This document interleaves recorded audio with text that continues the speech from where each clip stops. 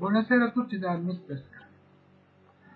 Vi volevo solo tranquillizzare che il Natale l'ho passato tranquillo, sereno, mi sto rilassando e sto preparando alcune cose un pochettino nuove che poi più là pubblicherò, eh, farò dei video molto carini, molto divertenti. Eh,